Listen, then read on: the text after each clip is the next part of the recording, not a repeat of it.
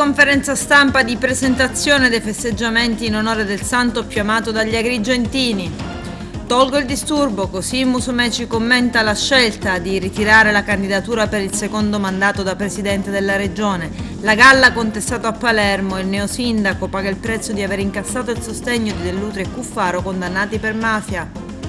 Martina Patti accusata dell'omicidio della figlia Elena del Pozzo resta in carcere, crollo del palazzo Liberty al viale nella vittoria d'Agrigento, chiusura delle indagini è possibile, rinvio a giudizio per 5 persone, lavori abusivi e maldestri. Il libro di Andrea Cirino presentato al Tao Book, domani 22 giugno, appuntamento alle 18 all'Hotel della Valle con Invecchiare in buona salute, cosa ci insegnano i centenari.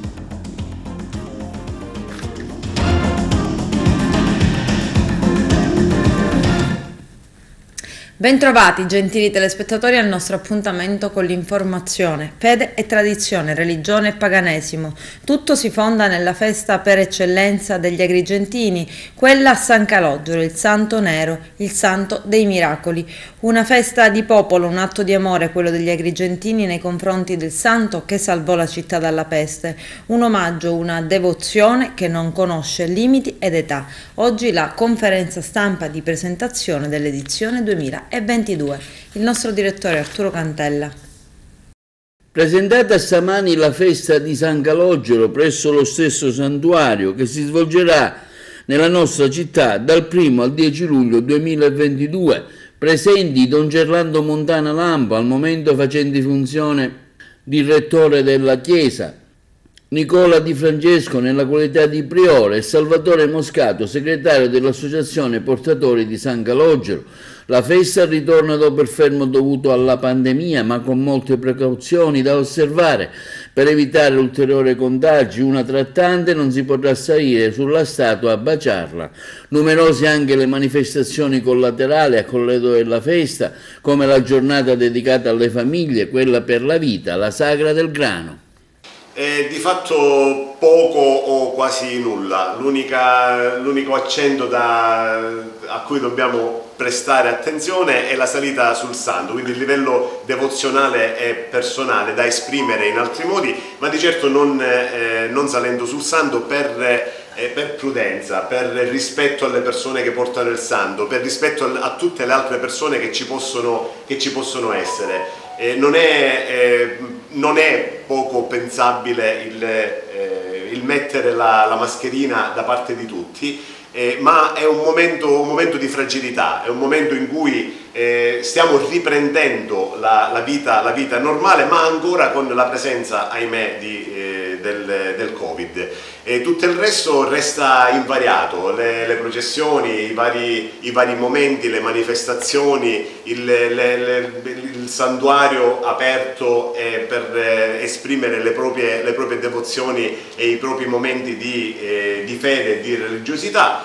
Per il resto ehm, che il buon Dio e San Calogero, per intercessione di San Calogero, possano aiutarci. Da giovedì si parte con la benedizione del pane, lei poco fa ha lanciato un appello affinché venga distribuito a chi ha realmente bisogno, non solamente nei dieci giorni di festeggiamenti. E l'altro accento che, a cui volevamo, volevamo, puntare, ormai gli agrigentini siamo eh, abituati a, a, non sprecare, a non sprecare il pane, in un momento storico ben preciso che è questo, con tutte le difficoltà che le famiglie hanno di poter anche mettere il pane sulle tavole. Abbiamo tanti, eh, tanti modi per, eh, per, dire il nostro grazie al santo, offrendoli agli ammalati, ai sofferenti, alle mense, alle caritas parrocchiali, portandoli noi stessi di persona a qualche eh, famiglia, eh, famiglia bisognosa tante sono le possibilità, noi saremo qui per la benedizione a cominciare da giovedì prossimo e, e poi eh, il, il, sì, il, i buoni possono essere consegnati in qualunque momento o al santuario o in qualsiasi altra, eh, altra caritas parrocchiale.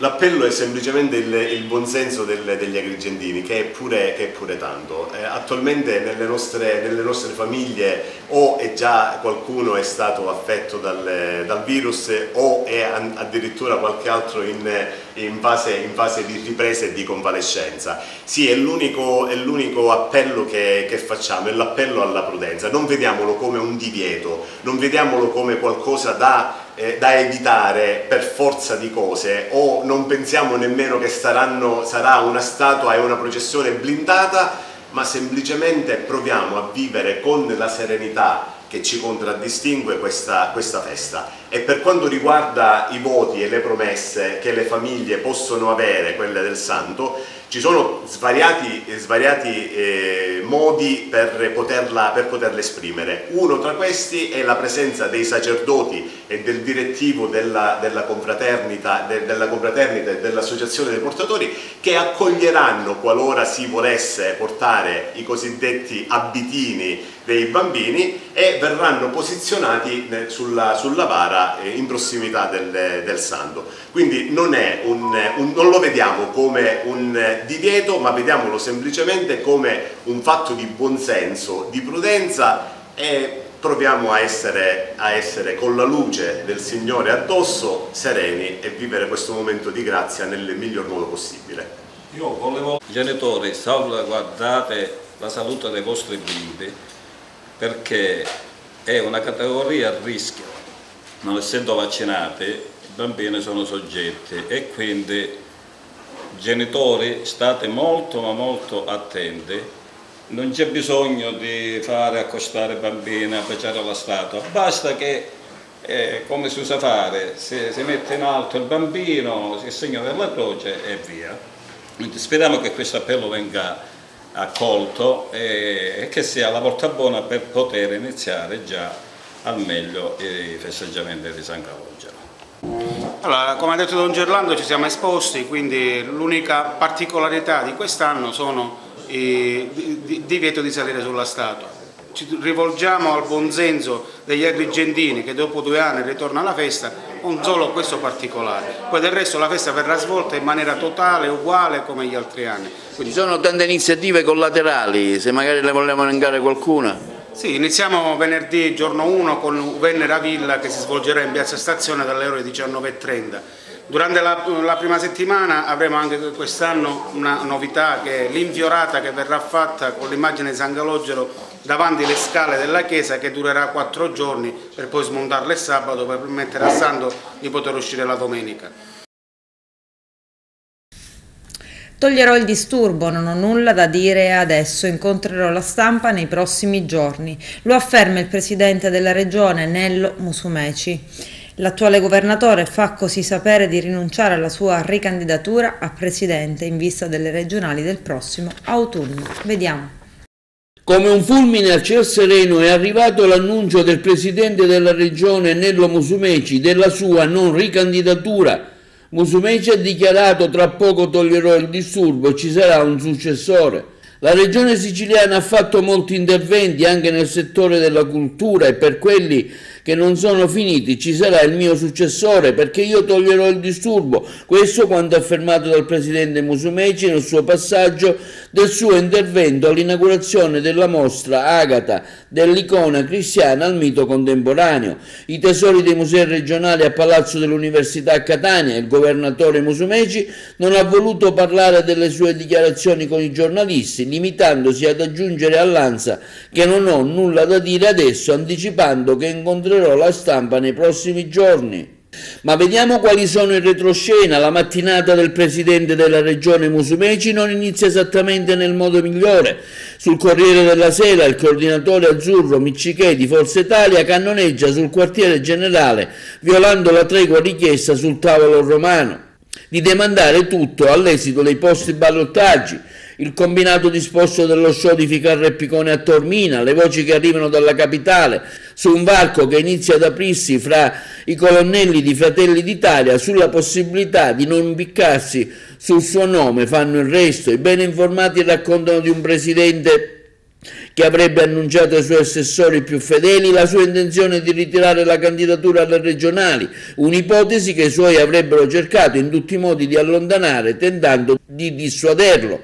Infine la dichiarazione pubblica rilasciata ai cronisti all'inaugurazione della mostra Agata che si è svolta a Catania immediatamente battuta dalle agenzie. Il giallo c'è tutto e riguarda le possibili dimissioni del Presidente che rimanda ogni spiegazione ai prossimi giorni quando organizzerà una conferenza stampa a proposito per chiarire i contorni della vicenda. Ci sarà un mio successore, questo ha dichiarato il Presidente Musumeci. Ha vinto il candidato benedetto dai condannati per mafia Totò Cuffaro e Marcello Dell'Utri. Il nuovo sindaco di Palermo, Roberto Lagalla, continua a far discutere per il suo successo a primo turno con il 48% delle preferenze e il sostegno di tutto il centrodestra.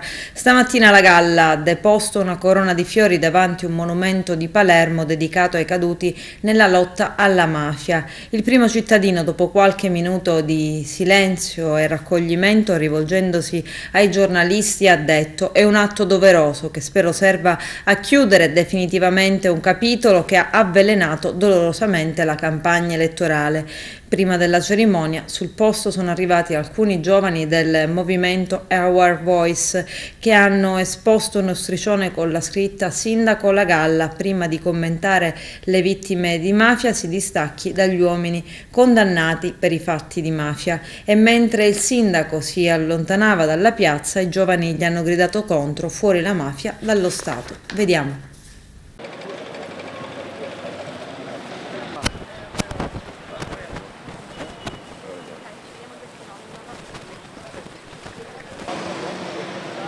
Contestiamo il fatto che la Galla, il nuovo sindaco di Palermo, purtroppo ha preso le distanze troppo tardi da una certa politica clientelare e da uomini che sono stati condannati in via definitiva per reati di mafia come Totò Cuffaro e Marcello Dell'Utri, rispettivamente per favoreggiamento e concorso esterno in un'associazione mafiosa. È troppo facile, caro sindaco, prendere le distanze dopo che uno è stato dopo che lei ha vinto le elezioni o pochi giorni prima della votazione. Lei doveva farlo mesi fa perché Cuffaro ha iniziato a muoversi nella politica palermitana per le amministrative 2020 già da febbraio e Dell'Utri già nel periodo di marzo-aprile, quindi lei da lì, siccome sapeva che bazzicava il centrodestra, questi personaggi venivano qua, erano qua a Palermo per sistemare i problemi intestini e gestire la cosa pubblica politica del centrodestra, lì lei doveva dire quello che ieri, ieri sera è stato, è stato riportato da Report, che se loro porteranno voti mafiosi io mi distacco. Farlo dopo le elezioni, farlo dopo che lei ha vinto è troppo semplice. E noi siamo qua davanti a un monumento dei caduti di mafia per dire che purtroppo, purtroppo sono stati legittimati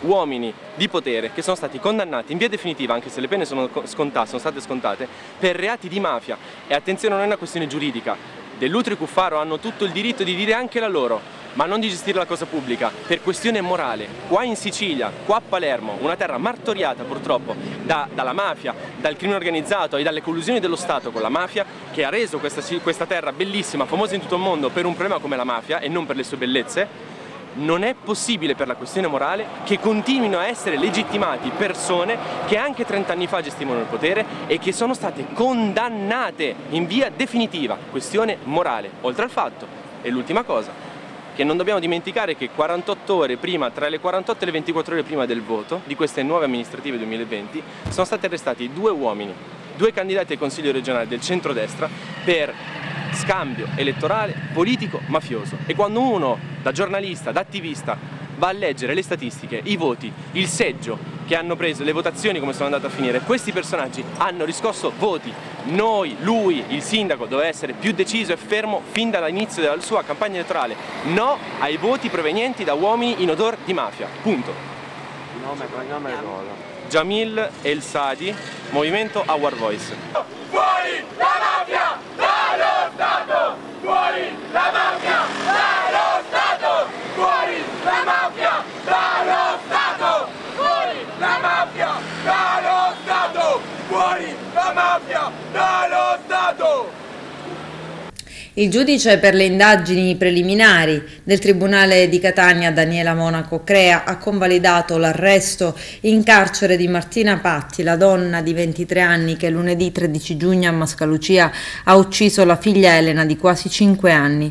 Tra le 15 pagine del provvedimento il giudice ha scritto Martina Patti, nonostante il tentativo di lasciare Credere di aver agito senza piena consapevolezza è una donna lucida e calcolatrice e se non arrestata potrebbe darsi alla fuga. E la piccola Elena, vittima di una morte violenta particolarmente cruente e anche lenta, è stata uccisa da una donna che in tutte le fasi dell'omicidio deve essere stata necessariamente nel pieno delle sue facoltà, trovandosi in condizioni fisiche e psichiche idonee all'agire, perché uccidere un figlio in tenera età e quindi indifeso, oltre a integrare un gravissimo delitto, è un comportamento innaturale, ripugnante, eticamente immorale, riprovevole e disprezzabile, per nulla accettabile in alcun contesto, è indice di un istinto criminale spiccato di elevato grado di pericolosità. La donna non ha manifestato segni di pentimento, ha inscenato il rapimento con estrema lucidità e non ha manifestato segni di ravvedimento o pentimento. Sono tutti elementi che denotano una particolare spregiudicatezza, insensibilità e assoluta mancanza di resipiscenza. E Martina Patti così ha risposto ad alcune domande del giudice che l'ha interrogata. Ho portato Elena in quel campo e le ho fatto del male, non ricordo altro. Ho avuto una cosa lunga tipo un coltello, non ricordo dove l'ho preso, non so perché ce l'avevo. Quando l'ho colpita non ricordo bene perché ero girata e non volevo guardare. Non ricordo cosa sia passato nella mia mente quando ho colpito mia figlia. Anzi posso dire che non mi è passato nessun pensiero, come se in quel momento fossi una persona diversa. Non ricordo la reazione della bambina mentre la colpivo, forse era ferma. Non ho un ricordo molto chiaro. Non ricordo di aver sotterrato la bambina, ma sicuramente sono stata io.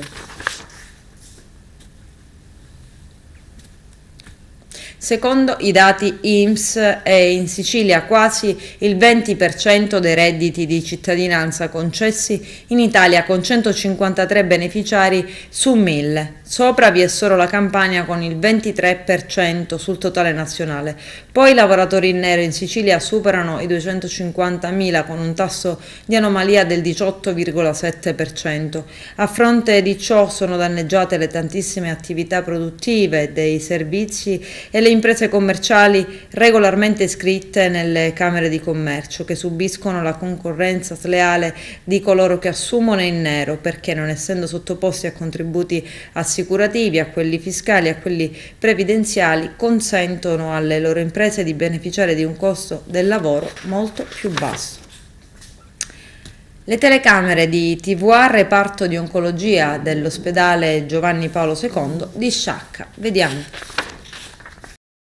Dottore Sant'Angelo, eh, qual è la situazione del reparto oncologico di Sciacca? Allora, intanto diciamo che l'unità operativa di oncologia di Sciacca è un'unità operativa semplice e dipartimentale, abbiamo ottenuto questa promozione eh, circa due anni fa, grazie anche all'attuale eh, commissario della, eh, della, sanità, quindi dello Stato, del governo diciamo, regionale. Questa unità operativa è stata riconosciuta semplice e dipartimentale e, mm, e siamo tre medici, io e il collega Vaccaro, il collega diciamo, Quattrocchi che sono diciamo, venuti a supporto di questa unità operativa grazie anche all'impegno della nostra direzione strategica e in particolare del direttore generale Zappia che abbiamo sempre trovato diciamo, come un importante interlocutore. L'unità operativa nostra copre un ampio bacino di utenza, quindi copriamo buona parte della provincia di Agrigento, anche fuori provincia, quindi abbiamo anche alcuni di Mazzara, di Mazzala, comunque diciamo ha un ampio bacino di utenza. Devo dire che è molto importante che ultimamente abbiamo attivato oh, dei test fondamentali per eh, i chemioterapici, quindi per predire la tossicità al trattamento in collaborazione con il nostro laboratorio di analisi col dottore Gallerano, quindi facciamo dei test di farmacogenomica e siamo gli unici in provincia a farlo all'interno dell'ospedale senza appoggiarci a strutture esterne. La nostra operativa è dotata anche di un ecografo, abbiamo aperto gli ambulatori di senologia con richiesta impegnativa anche per gli esenti ticket, siamo in grado di garantire tutti i trattamenti ai nostri malati in linea con quelli che sono gli standard nazionali. Quindi nonostante le difficoltà che abbiamo avuto negli anni siamo riusciti sempre a uscircene diciamo bene, abbiamo buoni rapporti di collaborazione anche con altre strutture sia regionali che extra uh, regionale. Per quanto riguarda gli studi sulle ricerche della malattia, dottore, ci sono novità? Allora, eh, diciamo che l'oncologia in questi anni ha subito dei notevoli cambiamenti, quindi dei notevoli avanzamenti. E oggi non si parla solo di chemioterapia, si parlano anche di terapie mirate come le target therapy, si parla di immunoterapia e la nostra provincia, diciamo, ringraziando diciamo, anche con tutte le mille difficoltà, la nostra provincia riesce a garantire tutti i trattamenti, sia nel campo chemioterapico, sia nel campo immunoterapico, sia nel campo della target therapy. Abbiamo anche un buon rapporto di collaborazione con il nostro territorio, dove è presente lo specialista ambulatoriale con cui noi diciamo, integriamo e cerchiamo di alleviare quanto più possibile le sofferenze. Speriamo anche possano essere attivati presso la nostra struttura gli ambulatori anche di, eh, all'interno del nostro ospedale, l'hospice e anche un ambulatorio di cure palliative che attualmente ci appoggiamo all'esterno con i servizi territoriali oltre che all'hospice di Agrigento. Sono qua dal primo dicembre del 2021 dopo aver finito la specializzazione a Palermo e mi trovo davvero bene, si è creato un clima di collaborazione tra di noi medici e con gli infermieri e tutto lo staff davvero eh, che ci porta una serenità e una facilità nel lavoro che per noi è fondamentale, soprattutto considerando le patologie che trattiamo. Eh, sono davvero contento e spero di rimanere qua quanto più tempo possibile. Cosa possiamo consigliare al paziente che si rivolge a voi? Ecco, mm, mm, eh, nel trattamento della prima visita, ad esempio, cosa, Ma, eh, come lo seguite? Come ovviamente, ovviamente eh, tutto dipende dalla, dalla patologia eh, che il paziente ha, perché eh, noi trattiamo un po' tutto il campo delle patologie oncologiche e ovviamente in prima visita eh, l'approccio dipende soprattutto dalle condizioni generali del paziente. Noi comunque qua abbiamo la possibilità eh, sia di effettuare esami diagnostici in eh, regime di day hospital in breve tempo, eh, sia ci appoggiamo anche a strutture esterne che ci consentono appunto di avere un quadro chiaro della situazione in tempi molto brevi per poter iniziare subito i trattamenti e le cure del caso. Naturalmente il medico deve portare un sorriso anche al paziente. Assolutamente sì, questo è sempre fondamentale la parte empatica. Eh, io lavoro qua dal primo di aprile e la mia è stata una scelta assolutamente consapevole, quella di rimanere in Sicilia perché oggi ovviamente è sempre più facile magari cercare di lavorare al nord dove le possibilità lavorative sono maggiori, però è importante un supporto per il nostro popolo, per il nostro territorio, quindi la mia scelta è stata quella consapevole di rimanere qua. E, come diceva il mio collega, l'attività lavorativa nostra è molto intensa, però c'è anche un'ottima collaborazione tra di noi, quindi eh, si lavora bene. Eh, è chiaro che, per ritornare alla sua domanda, eh, la parte anche dell'approccio nei confronti del paziente è un punto fondamentale perché il paziente viene qua chiaramente con delle paure, lui e la sua famiglia e quindi noi dobbiamo essere sempre pronti anche per un supporto psicologico che al giorno d'oggi è fondamentale, soprattutto nel nostro ambito.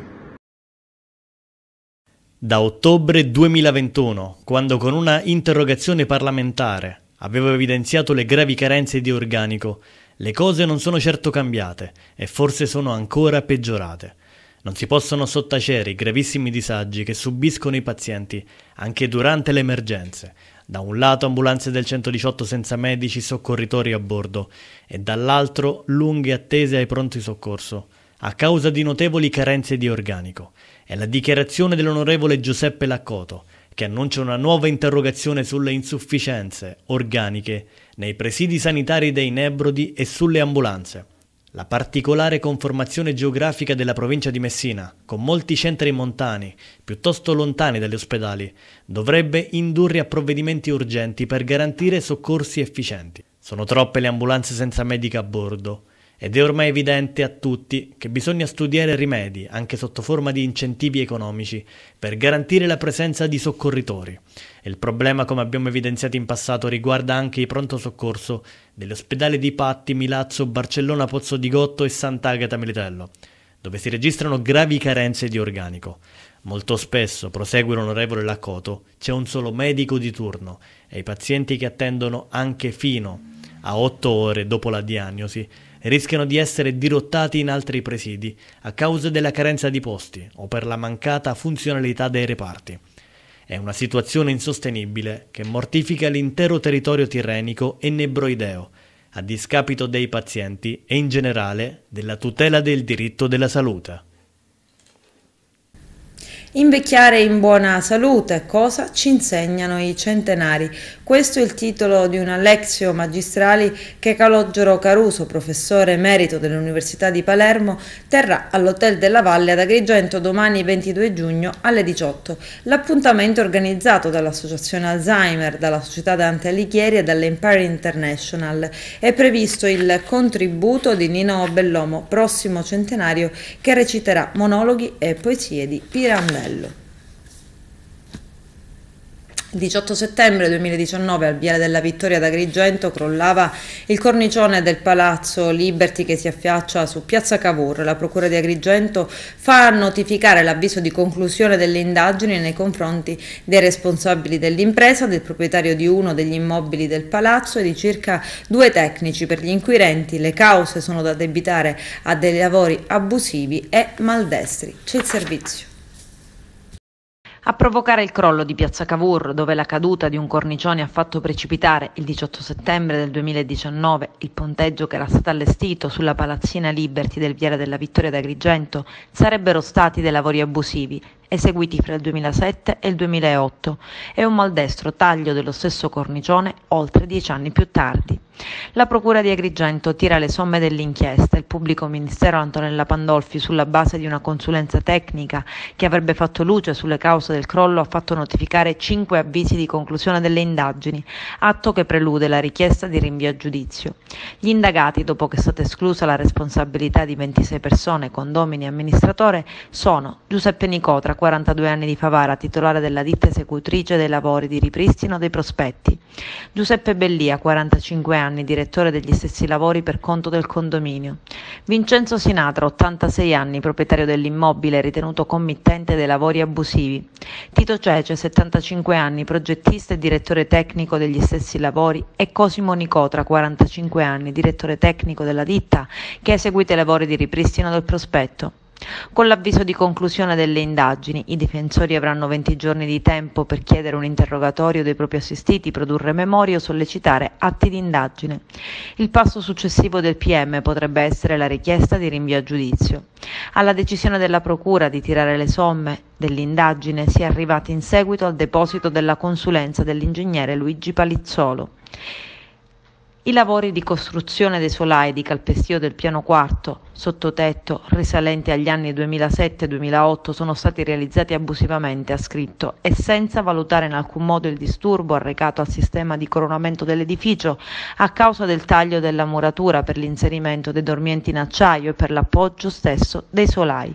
Pertanto il proprietario e committente dei lavori Vincenzo Sinatra, l'impresa esecutrice che non è stato possibile individuare il tecnico, l'architetto Tito Cece, che successivamente ha predisposto gli elaborati grafici e il calcolo di tali solai, hanno agito con negligenza, imprudenza e imperizia, innescando una situazione di instabilità del sistema di coronamento dell'edificio.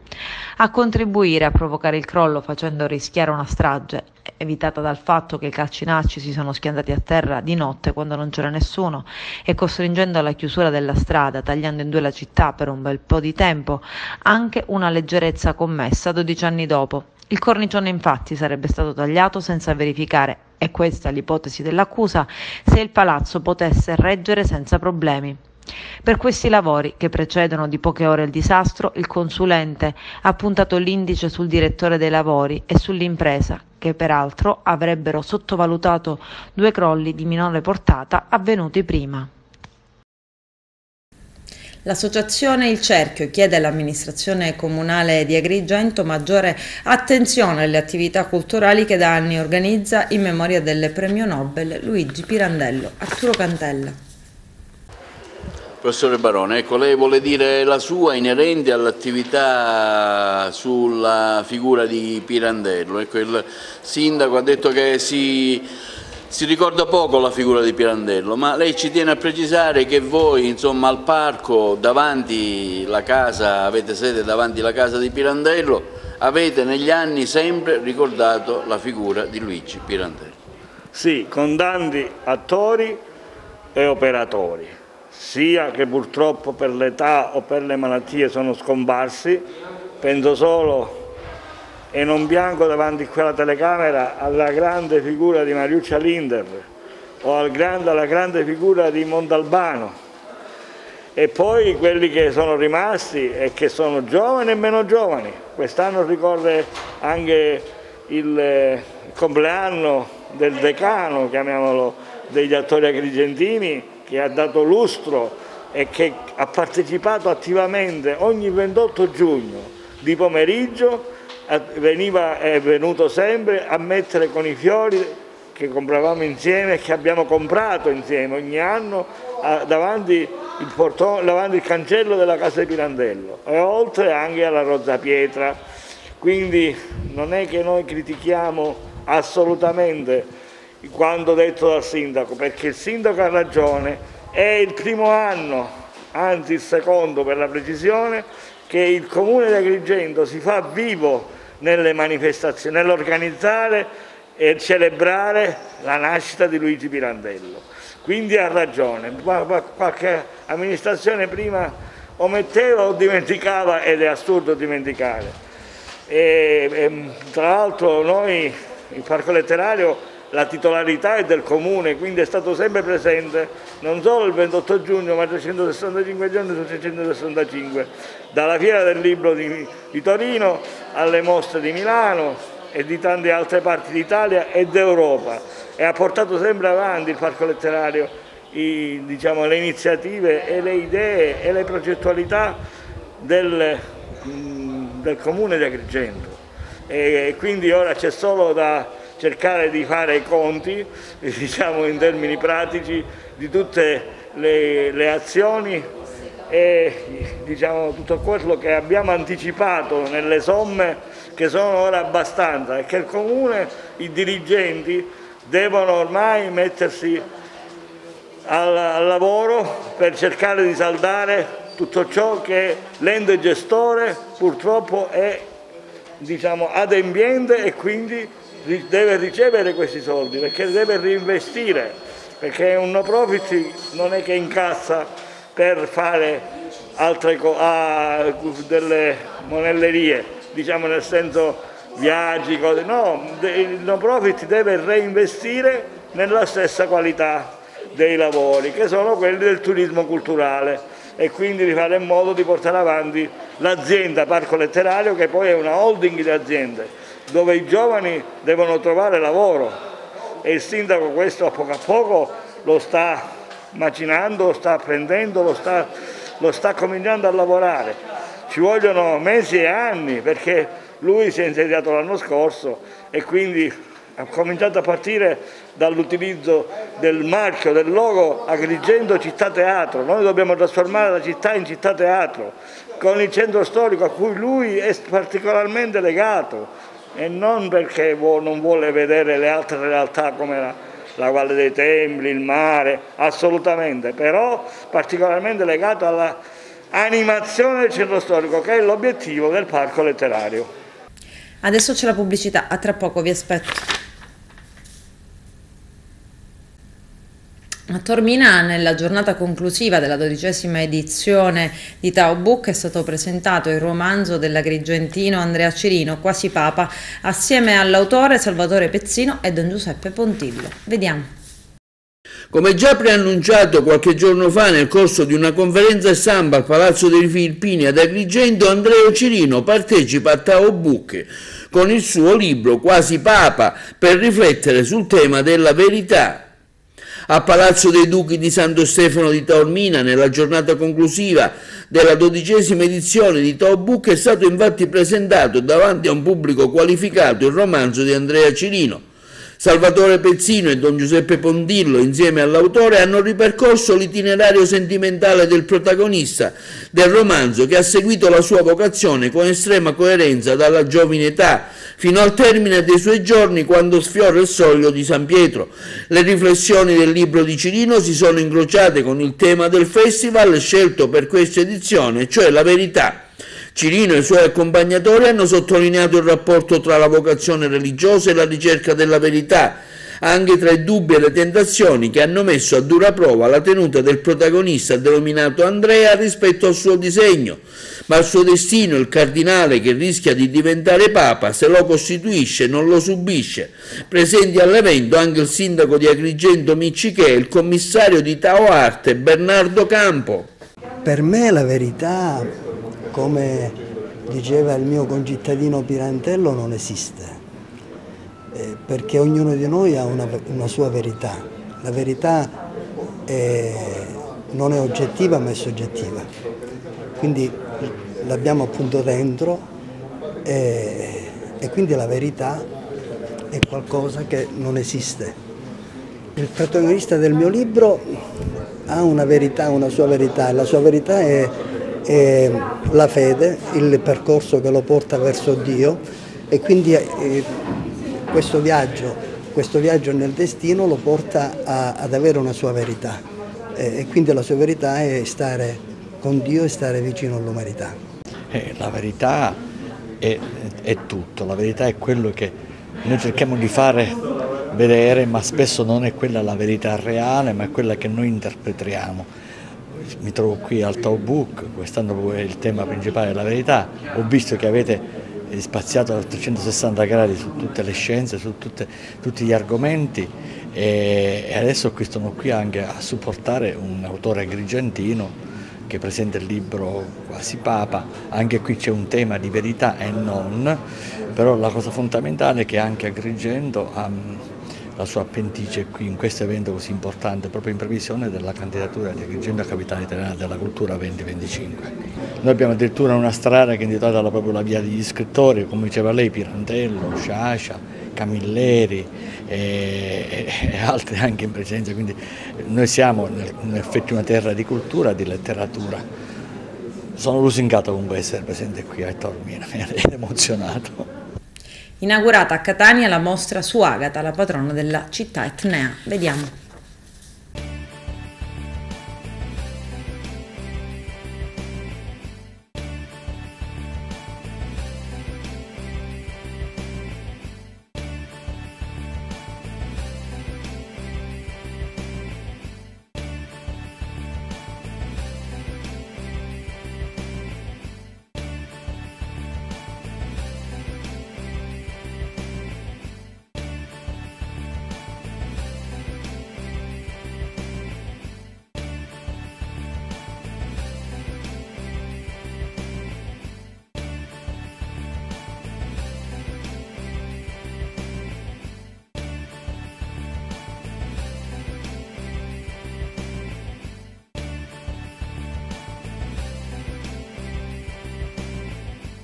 Dipinti, ceramiche, custoditi nei musei regionali e civici, sculture e fotografie di artisti contemporanei, raffiguranti Sant'Agata e la festa che celebra il culto della patrona del capoluogo etneo. Sono una ventina le opere esposte nella mostra denominata Agata, dall'icona cristiana al mito contemporaneo, i tesori dei musei regionali a Palazzo dell'Università, inaugurata dal presidente della regione siciliana Nello Musumeci nelle sale del Museo dei Sapori delle Mirabilia siciliane al Palazzo Centrale dell'Università di Catania.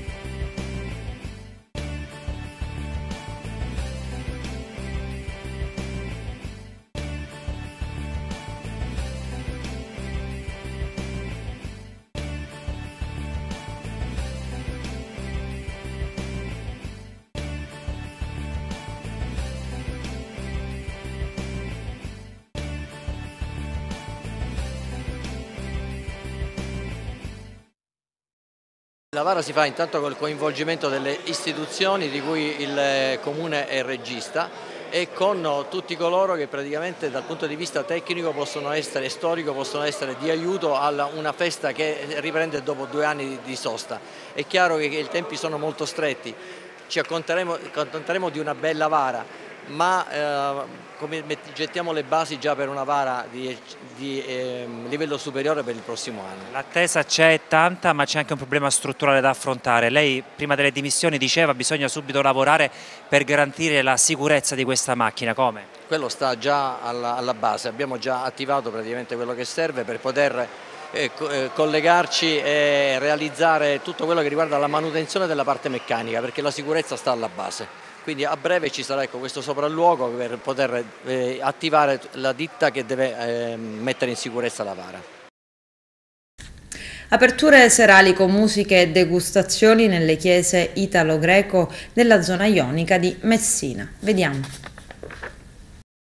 Un risultato straordinario per noi che lottiamo da anni Ehm, eh, nel febbraio del 2020 proprio in questa sala veniva presentato il coordinamento per la tutela e la valorizzazione della chiesa normanna di Mili e, e poco prima delle chiusure della pandemia, proprio qualche settimana prima e in questi due anni siamo riusciti a sensibilizzare le istituzioni e, e, e a far sì che questa chiesa eh, potesse essere riaperta in sicurezza come oggi effettivamente possiamo fare. Una chiesa che oggi si inserisce in un circuito nel contesto di un'iniziativa che coinvolge anche real altre realtà presenti nel territorio.